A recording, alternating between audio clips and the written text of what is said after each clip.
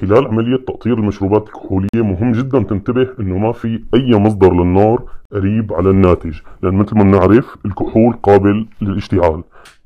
إذا قربت النار عليه مثل ما شايفين رح يشتعل. سواء عم تقطر عرق ويسكي فودكا ما تقرب أي مصدر للنار على الناتج. كاسكم بس. دونت درينك اند درايفها ولا تشرب كتير.